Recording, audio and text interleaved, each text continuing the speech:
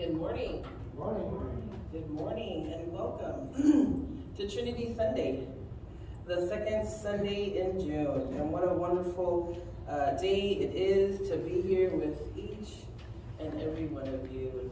Uh, thank you, Nathan, for compromising with us with the lighting of the candles. Hear this uh, morning's centering words. Wisdom is calling. Calls from the highest heavens and speaks with truth on her lips, calling all people to faith, peace, hope, and love.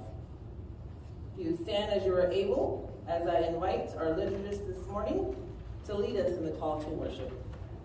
Thank you, Linda.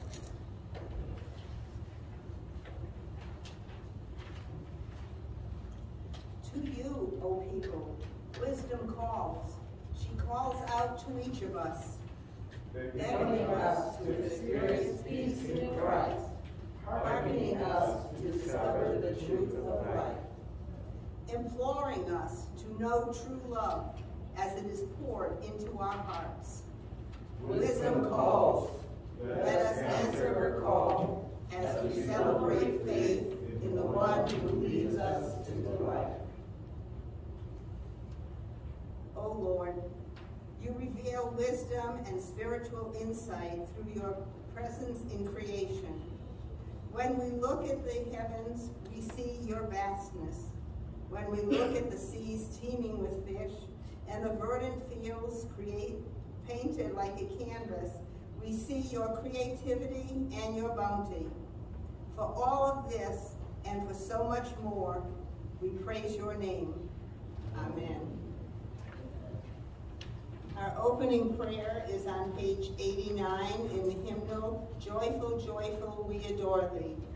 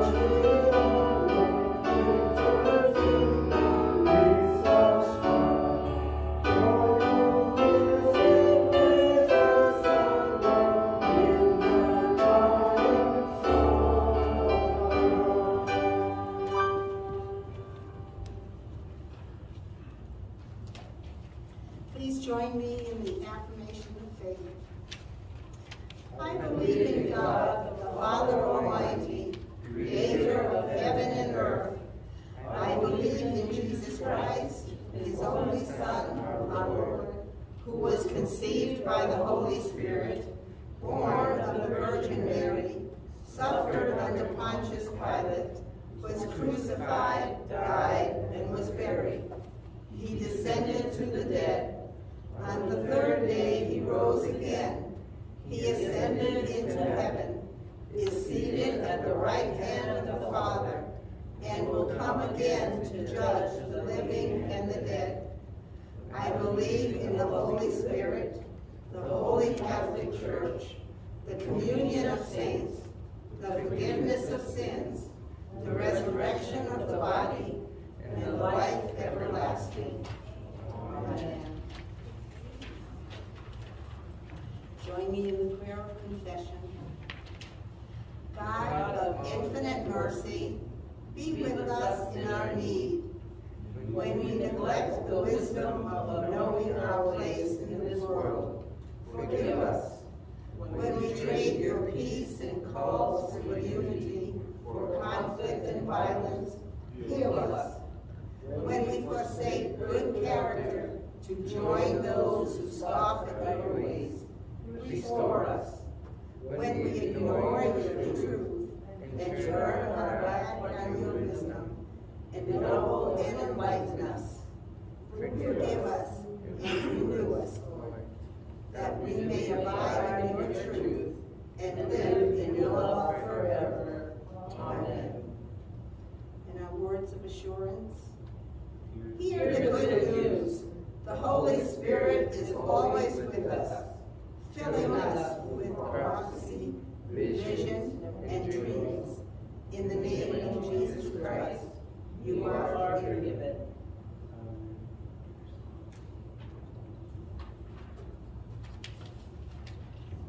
For our hymn of response, our hymn of response is the Gloria Patri.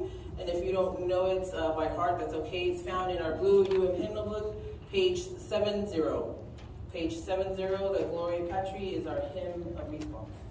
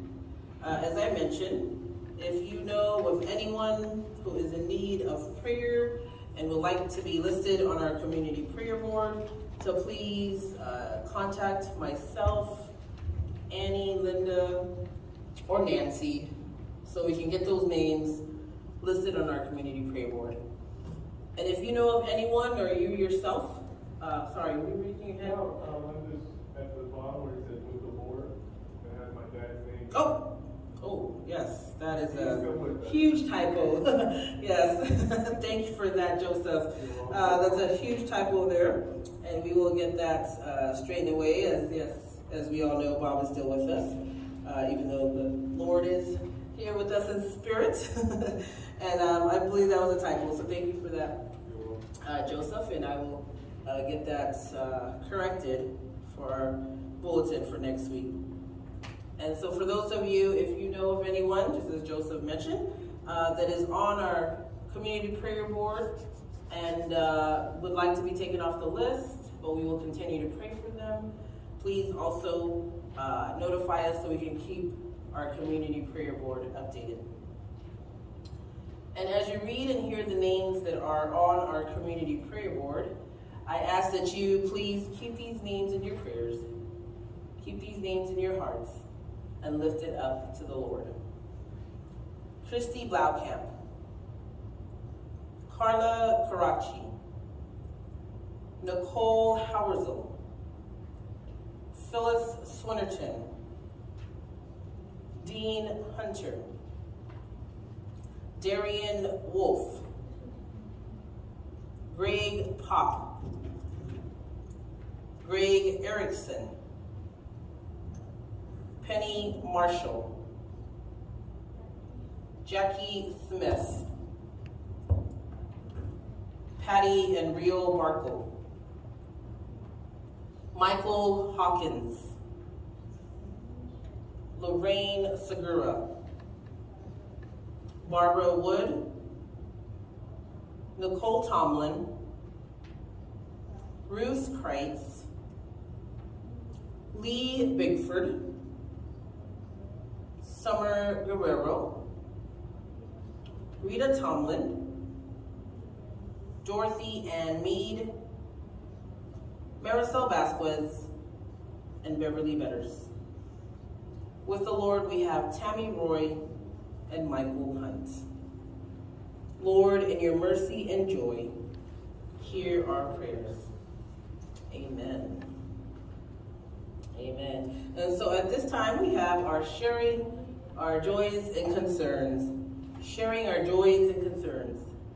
Do we have any joys or concerns that would like to be shared this morning? Yes, Linda? I'm so happy to be back in church again. Amen. Amen. Lord, in your joy, hear our prayers. Amen. And we are so happy to have uh, you back. We were happy when Joseph came back, and we look forward to when Bob comes back, but I know that he is uh, better, well, and recovering. So thank you. It's a, a joy to have you back. Any other joy? Yes. Yes, Danny. I enjoy my granddaughter surprised me on yesterday Mm. and said, I just came to visit. I'm like, "That's Oh, wonderful. And those are the, the delightful uh, uh, surprises that unexpected. So, Lord, in your joy, hear our prayers. Amen. No, just to surprise her, came and visited her. Oh, really? Yes. Out of the blue, just came and visited. Wonderful. yes, Nathan. Like a week ago was my sister's birthday. Say that, I'm sorry. Like last week was my sister's birthday. Ah, yes. Yes. I'm so happy that you were able to celebrate, right? All right. Uh, Lord, in your joy, hear our prayers. Amen. Thank you for sharing with us, Nathan. Any other joys or concerns uh, that would like to be shared this morning? Yes, Renee, go ahead, sorry. On this day, uh, June 12, 1983, I married this wonderful. Yay! Yes, on this day, on this day, uh, uh, blessed happy anniversary to both of you. Uh, Lord, in your joy, hear our prayers. Amen. Thank you. Yes, and I saw that in the June uh, birthday and anniversary. So we will still acknowledge it today because this is the day, and then at the end of at, at the end of the month, uh, when we celebrate all the birthdays and anniversaries, we'll sing. But uh, let's go ahead and sing happy anniversary to our uh, beloved Tolosa, since today is their actual anniversary. So uh, I invite you all to sing along with me. Happy anniversary. Happy anniversary to you. Happy anniversary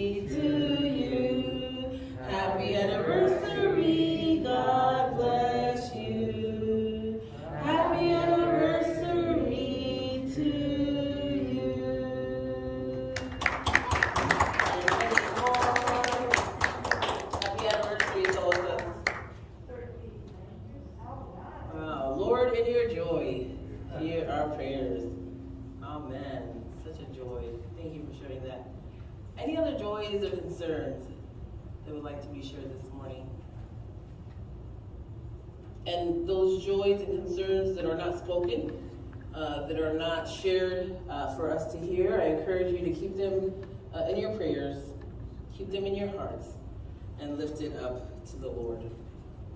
And so at this time is acknowledging uh, our graduates, our promoters, uh, receive certificates, and they don't have to be members of the 29 Palms, but just our community. And so I know that we have the Tolosa's uh, granddaughter, Michaela Lynn Jordan, uh, that graduated in Pueblo, Colorado, where they traveled. So we have one, and then I believe Linda, we have, We have my granddaughter who graduated from nursing at the, the New Jersey University, and my grandson who, Sean, who is graduating from high school, and my adopted granddaughter that I babysat for since she was eighteen months, who just graduated from junior high. and you, you can leave the picture uh, at the altar until worship is done. Thank you. So your granddaughter's name is Rebecca Rebecca, then we have Sean. and Kate, uh, Cambria So Cambria, Sean, and Rebecca. and Rebecca, and Michaela. Do we have any other? Yes. I'm sorry, I No, no, you're fine, Annie. Uh, my grandson from eighth grade, Oh, with, with straight A's. yes. Oh, wonderful, yes. Honors. So he graduates on the sixth. Oh, wonderful. That's okay. And your grandson's name, Annie? His name, La Henry. Henry. Oh, La Henry Ajani Sullivan. Okay. So if we could all say our graduates' uh, uh, names, even though they are not here, but we will acknowledge their achievements, we will acknowledge their accomplishments by saying their name, and then I will say a blessing prayer uh, for our graduates. And so let's start off with the Tolosa's granddaughter. So we have Michaela Lynn Jordan. Let's all say Michaela Lynn Jordan. And then Linda lead us in Rebecca Geddes, Rebecca Geddes, Sean Geddes, Sean Geddes, and Cambria uh, Snyder. and Cambria Snyder. And then La Henry Ajani Ajani Solomon. Solomon. Henry. La Henry Solomon. Our graduates for 2022. Let us be in a time of prayer and blessing for our graduates. God of truth and knowledge, by your wisdom we are taught the way and the truth. Bless the graduates as they have finished this course of study. We thank you for those who taught and worked beside them, and all who supported them along the way. Walk with these graduates and these promoters as they leave and move forward in life. Take away their anxiety and confusion of purpose. Strengthen their many talents and skills. Instill in them a confidence in the future you plan, where energies may be gathered up and used for the good of all people for the sake of Jesus Christ. May they always know that Christ is alive and goes before them to show and share what love can do. This is a day of new beginnings. Our God is making all things new. Amen. Well, I hope our graduates uh, will feel the spirit, our prayers, and our love uh, as we acknowledge their accomplishments for the year 2022.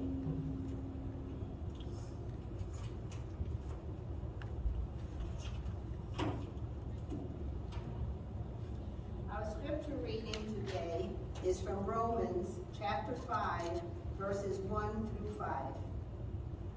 Therefore, since we are justified by faith, we have peace with God through our Lord Jesus Christ, through whom we have obtained access to the grace in which we stand, and we boast in our hope of sharing the glory of God. And not only that, but we also boast in our sufferings, knowing that suffering produces endurance, and endurance produces character, and character produces hope. And hope does not disappoint us, because God's love has been poured into our hearts through the Holy Spirit, and that has been given to us. Praise be to Praise be to God. Amen. Thank you, Linda. Um, at this time, we have uh, one of our volunteer ushers come forward for the offering plate.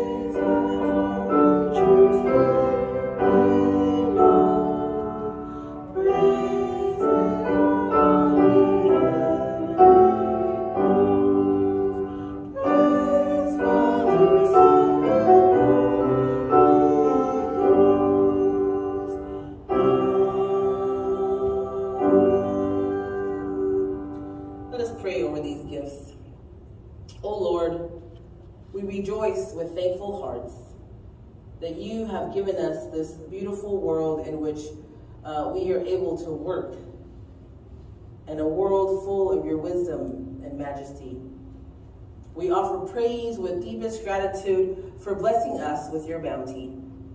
As we return a portion of your blessings to you, use these offerings, these tokens of our devotion to increase wisdom in the world, protect the created order, bless the vulnerable, heal the sick, and comfort the afflicted.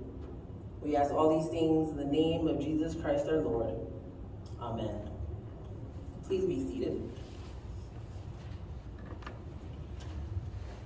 Thank you, Nathan.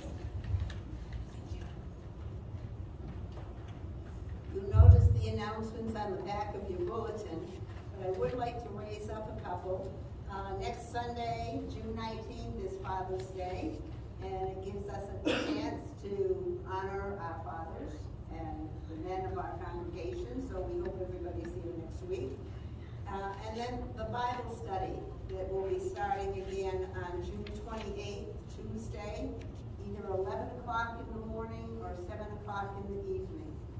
And it's a really nice time and we hope to see several people there.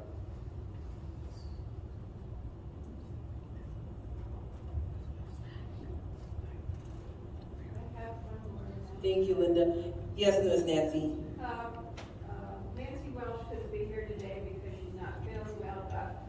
she wanted to have a SPRC meeting at 10 o'clock tomorrow, but I can't attend because I've got something else. So we're going to do it at 1, if that's all right with you, Annie. Is that okay? Sure. Yeah, okay. Okay. All right, we'll do it at 1. And um, I won't be able to be there. I actually have a Zoom at 1. Um, I have a Zoom with the PIC, the Pacific Islanders Commission, and it happens to be tomorrow at 1 um, as well. So um, I look forward to reading the minutes or the what took place in the meeting, and I will pray over the meeting and the fruitful uh, conversations, decisions, and uh, uh, subjects that will be discussed in the SPRC. Thank you, Nancy. Are there any, Andy, did you have any announcements to add? I don't know why I just turned that off. Oh, okay, yes. As Linda mentioned, and Annie, um, if you look at the back of your bulletin, uh, or the second to last page in the back, it's just, uh, things to know. And, uh, for those of you who know our, uh, thirty-eighth annual session of the California Pacific Conference, uh, will continue on Wednesday. We did have the plenary session last week, uh, but Wednesday will, uh, take place at, I believe it begins at ten AM. And it will begin with uh, open worship, and they'll go into the uh, orders of the day and the good all, the, all those good things. And I believe it will last all the way until all day. Yeah. So if you get a chance uh, to log in, it's on the calpacumc.org uh, YouTube website. Uh, is uh, providing the message for the young adult and youth worship. So you can watch him. Uh, I haven't watched it yet, so it'll be my first time too uh, watching it. And uh, the memorial service, I believe, which is in the evening, uh, we also participated in singing um, as a uh, Pacific Islander choir for that worship. So a lot to look forward to uh, for annual conference this Wednesday. And for those of us that will be in person, uh, check-in begins Thursday, and we will uh, be there Friday and Saturday. And for those of you who are unable to be there, that's okay because the uh, uh, gifted thing about technology is you can still be there online. So you'll be able to hear and see uh, the sessions uh, online. I know the only thing they won't uh, stream, I think, is like when we break up in small groups, I believe. Yeah, that's the only thing they won't uh, stream live. But all the more important things will be online. So if you are unable to be in person, um, I encourage you to log in and just watch. And if you can't watch it at the time it's uh, recorded, it'll be on there. So you can always go back and look and watch uh, watch it later on the day, the next day. But it'll be on there um, on the calpacumc.org YouTube page, I believe. And I believe that's it. Yes, it is. And so if there are no other announcements to be made. I uh, invite you to stand as you are able, in body and in spirit, for our second hymn. Our second hymn is found in the United Methodist Hymnal Book, number 715. 715, Rejoice, the Lord is King.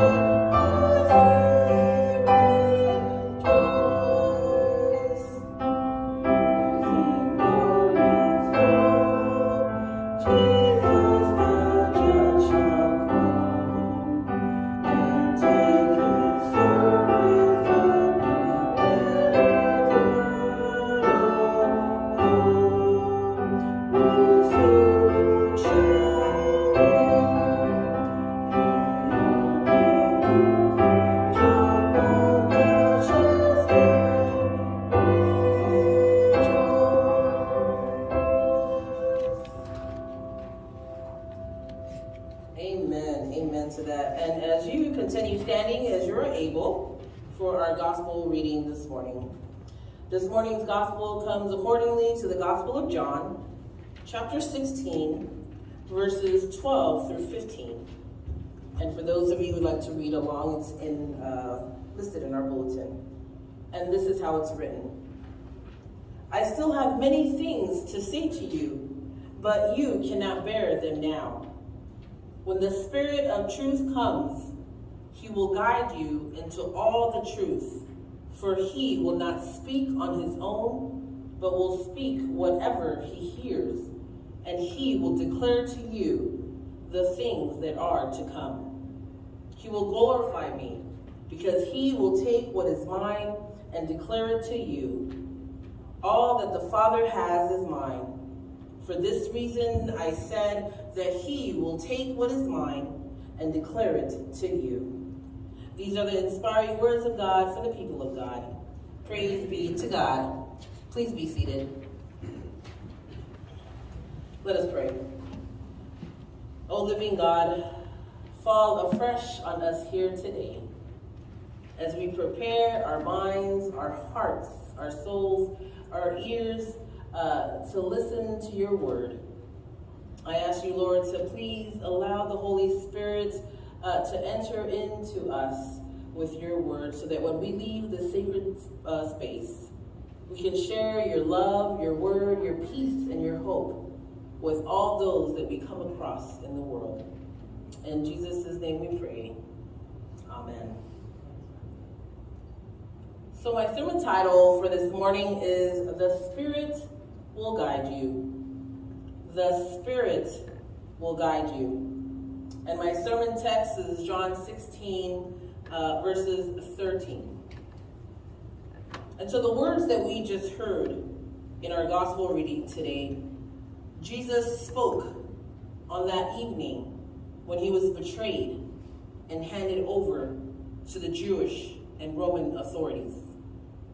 And a lot, as we all know, a lot has changed since that evening. Jesus has gone to the Father.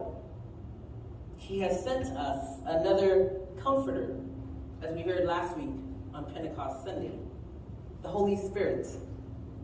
And the Holy Spirit has revealed a lot about the Father and about the Son, Jesus. Now we have this beautiful revelation of who God is.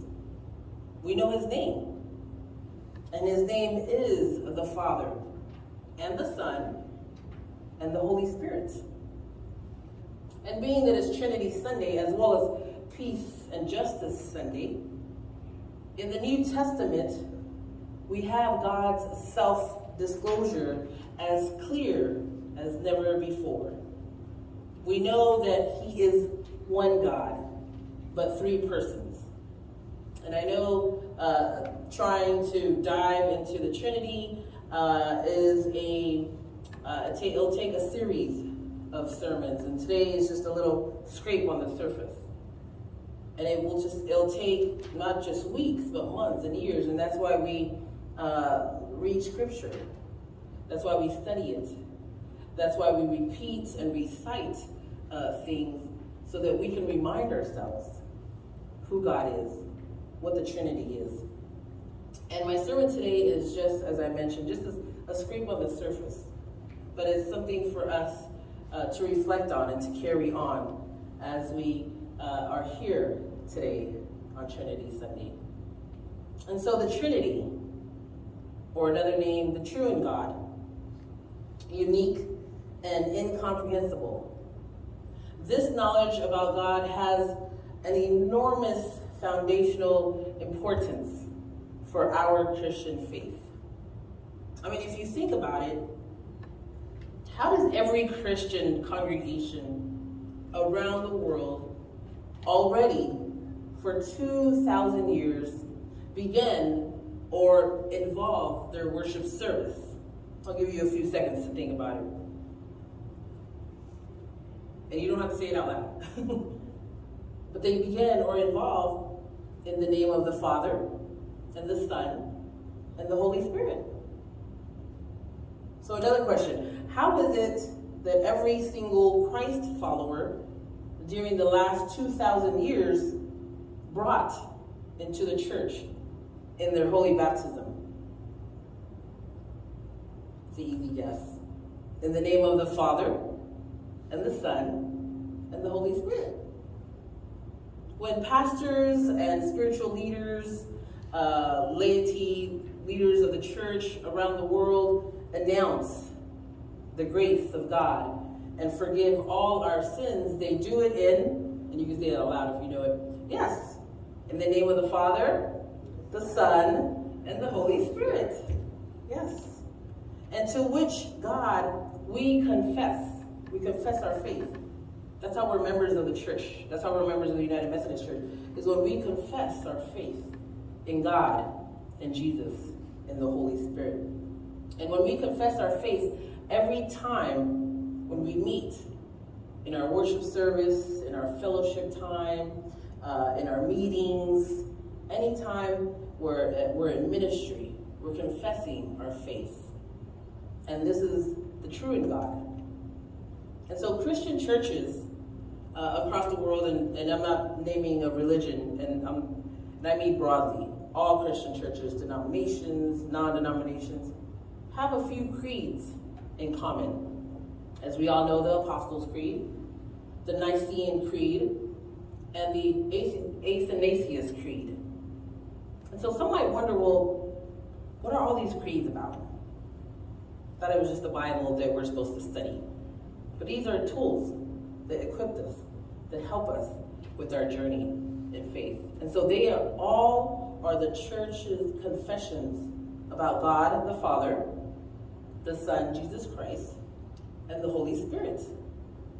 God has revealed to us his name, his name, the Father, the Son, and the Holy Spirit.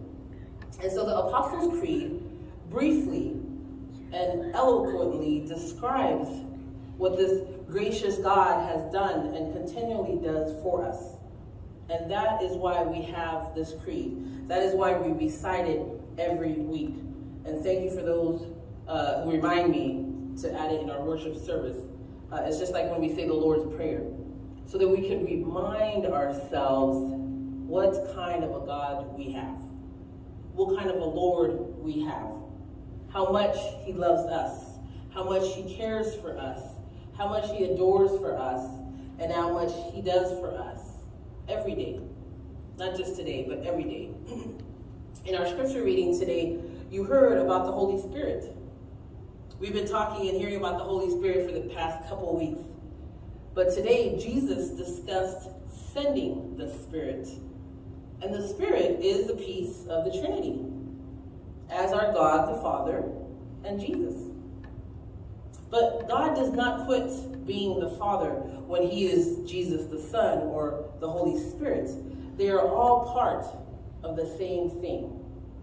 And it can certainly be confusing, as I mentioned uh, earlier, for us to understand or fully grasp. But what, but what we can know and trust is that God loves us. God cares for us. And God adores us. And God cherishes us so much that he sent his son, Jesus, to die for us. The work of the Trinity rescues us, but also it comforts and cares for us. No matter what our families might be like here in this life, we know that we are parts of God's family. And his love will never stop. And he is always present and it's a blessing to know that the Heavenly Father holds us in his loving grasp and has always had our interest in mind. Jesus set the disciples up for their future. Jesus knew that revival pursues execution.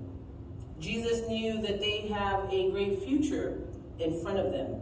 And Jesus knew that he would, uh, before long, be with the Father. And Jesus knew that the Father will send the Holy Spirit to his followers. The words of John 16 are a piece of Jesus' goodbye address intended to set up his followers for the occasion to come. I still have many things to say to you, but you cannot bear them now. When the Spirit of truth comes, he will guide you into all truth. Verses 12 and 13. Now, Jesus has indicated the cross, yet the disciples have, had, have not had the option to get it.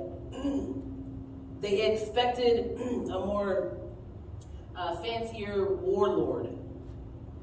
They couldn't envision an enduring servant and they are not yet prepared to hold up under the weights that lie ahead to see their Lord executed close by basic offenders, to be imprisoned, beaten, and killed for their confidence, to engender the congregation by the penance of their own blood, to see the impact of Gentiles develop in the congregation, in any case, Jesus does not request that the disciples face such issues now, especially while they are afraid.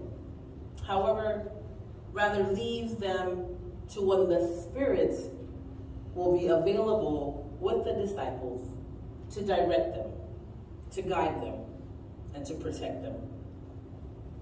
As we have just uh, as we have just uh, left Pentecost last week. Pentecost was or is the unmatched Christian holiday where the Holy Spirit fell upon these equivalent followers, filling them with the spirit of truth, quote unquote. We keep on praising this uh, extraordinary start as the Holy Spirit keeps on uncovering the Spirit of Jesus in his church. Pentecost proceeds as a period of the church. Pentecost proceeds as a truth of God, breaking into the world, breaking into our lives, breaking into our souls. Jesus disclosed to us that this would occur. For the Spirit will not speak on his own, but will speak whatever he hears, and he will declare the things that are to come. He will glorify me because he will take what is mine and declare it you. From chapter 13 of our gospel reading today. So the Spirit of truth, the Spirit of truth will not lead us wrongly. Yet, it will demonstrate to us the correct pathway will be there to guide us. That that way maybe it might be restricted or harsh to some, but however the spirit of truth will always assist us with walking with certainty. Wise past shrewd, the spirit of truth will not lead us into absurdity. Fully cherishing the spirit the Holy Spirit of truth, won't be enticed by conflicting situations or desires. Always present, the spirits of truth will be there for us in each dull night and each dull day, each moment, while it's remote or lonesome moment. That could be the spirit out there we hear, that gust of wind let us not be startled uh, as we witnessed, I think it was last week, as I was driving in the death storm. You know, and what a day to, to witness all these uh, earthly um, uh, things that are going on. But there are a few, there are a few uh, that do not understand how the Holy Spirit works. There are a few that do not understand that the Holy Spirit is still working in us and through us. And there are a few that do not understand the Holy Spirit of Jesus. Jesus of the gospel was not here to give us a neat and perfect formula of right and wrong beliefs, or to explain to us every minute detail of theology and to make everything clear and understandable. Rather, Jesus came to invite us into a new way of living. Likewise, when we contemplate and celebrate the Holy Trinity, or Trinity Sunday. And the purpose is not to gain a perfect comprehension uh, of this teaching, no. Because like it or not, it is a mystery beyond our capacity to understand. And that's why we learn and grow and strive each day.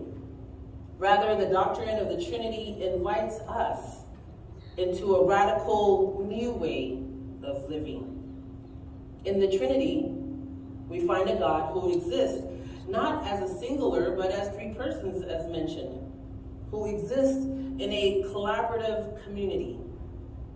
The Christian God, therefore, is a communal God if the scriptures are right, which some of us could argue about that, but if scriptures is right, and that we were created in the image and likeness of God, then a faith in the Trinity is and will be a communal living, a communal being. And it calls us, it calls us to pattern our lives in a way that is uh, con, uh, collaborative with the community, not just here in our church walls, but in our surrounding communities. And in believing in the Trinity, we are called to reject those voices that signal to us steps of destruction and violence, and instead find ways to build a more collaborative and communal way of living. But some might uh, wonder, well, who or whom are we supposed to collaborate and be with in community? Well, our neighbors. We begin here with our neighbors, and then we work our way out the doors with our next door neighbors, and our neighbors uh, across from us, and our neighbors behind us, and our neighbors from our right to the left. But, uh, but in an increasingly polarized society, the tendency to isolate oneself in communities of like-minded, quote-unquote, people is tempting. And there is certainly nothing wrong with the desire to be with people who share uh, your culture and values. But, there's always a but. But the Trinity, the Trinity urges and guides us and shows us how to manage otherwise. The true God, whom we worship, is not uh, only in community with us, but is in community with one another. The Father, the Son, and the Holy Spirit, but also with the whole of creation. Indeed, as we are reminded by today's Psalms, for those of you who read the lectionary uh, readings for today, the Psalms is the Lord is in community with everything in the universe, from the sea to the birds to each and every one of us. The call of the Trinity therefore asks us to exist, to be in existence with a collaborative and communal relationship with the whole of creation. It calls us to discern how we may best interact with the world around us to ensure that the life we lead does not come with the destruction of creation. And of course, it means creating a society where everyone is included, where everyone is invited to the table, and where no one is pushed to the margin. This inclusivity does not mean an overlooking of differences, no. After all, each person of the Trinity is different from one another. But we are called to love and to be in community with one another in full recognition of our differences. And it means believing that these differences cannot and will not prevent us from being in community with one another. There's so much uh, hurt, there's so much pain, and there's so much sadness in the world, but we, we followers of Christ of 29 Palms United Methodist Church is called to be set apart, to be uh, to show the love and the grace and the blessings that God uh, blesses and bestows on us each and every day. And yes, sometimes we might think that we are uh, unable to make a change, but believe me, when you, when you touch one heart, one soul, that's the beginning of making change. And I'm not gonna lie, as I mentioned each week, it's gonna be tough, it's gonna be hard. At times, it may seem almost as messy as some people uh, try to study the Trinity itself. But what we do have as followers of the risen Christ is hope. Hope that God will not abandon us. And hope that the same Lord, the same God, the same Son, the same Spirit that exists in community with us now will be present and support us in every effort and to continue building God's kingdom here on earth. There is an immediate line from our Father, God, through the Son, Jesus, the Holy Spirit, to all the disciples. Each expression of Jesus and the Spirit is established in the truth of the Father. And such growth, as many of you know, such ability to appreciate the fullness of God's truth is a lifelong process. In this life, will we be prepared to understand all of God's truth? Just a reflection to think about. The Spirit, the Spirit is a faithful guide. The Spirit is a faithful guide, so it fits us to become faithful followers. And so the question that we are left with is whether we will tune in to the spirits and be available to a more current and more profound understanding of our confidence and to the ramifications of Jesus' disclosure for us today. We're surrounded with so much uh, advanced technology that the internet-based life and the 24-hour uh, news cycle uh, presently gives us the progressively quick and familiar uh, news, nearby, national, local, worldwide emergencies that challenge us, that challenges us for a Christian reaction, as some of us have witnessed. For example, movements, civil rights, racial division, church division, gun violence are just to name a few. But I want us to know, uh, to, to know and be reminded that we don't always have to react to what's going on in the world. Yes, we can react, but we don't have to publicly react. And our first reaction should always be to pray. Always to pray. But what is the Christian reaction to such substances? What reaction is all the more obvious and reliable to Jesus' revelation? Could we, similar to John, trust the Spirit to direct us? In observing, living out our, our Christian confidence today? I think so. The Holy Spirit is continuously and always working with within us. And as long as we are praying, uh, whether if we're not able to physically help or to physically show up in places that, uh, that need uh, our, our support, praying first uh, begins with our Christian reactions. And while we might be tempted to accept our current spiritual state as fixed, traditional spiritual disciplines enhance our receptiveness to the Spirit's teaching, preparing us for spiritual growth in the same way, excuse me, in the same way that a plant is prepared for growth. Weeding, watering, and fertilizing.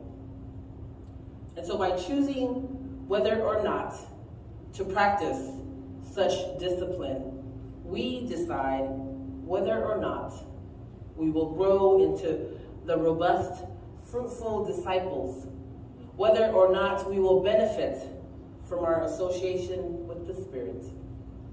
The Spirit offers us faithful guidance. The Spirit will guide us. Everything then, everything then depends on whether you or I are open to that guidance. As we leave from this sacred space, let us take our knowledge, let us take our love, let us take our compassions of our Heavenly Father, of the Son, Jesus Christ, and the Holy Spirit, and show and let the world what a true and loving and forgiving God we worship. May it be so. Amen.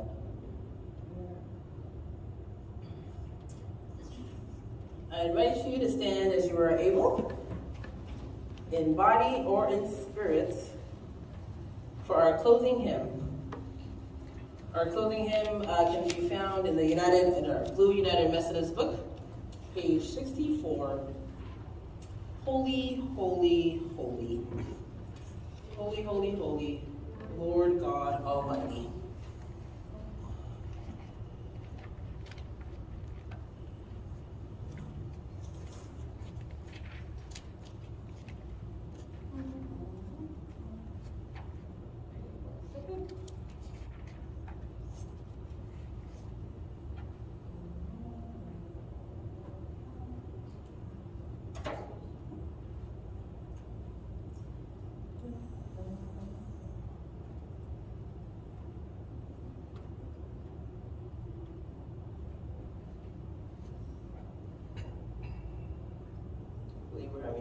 Technical difficulties.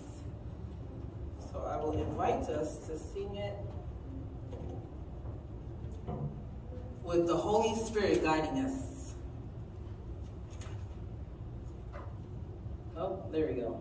I'm telling you, the Holy Spirit is just constantly working with us, testing us. There we go.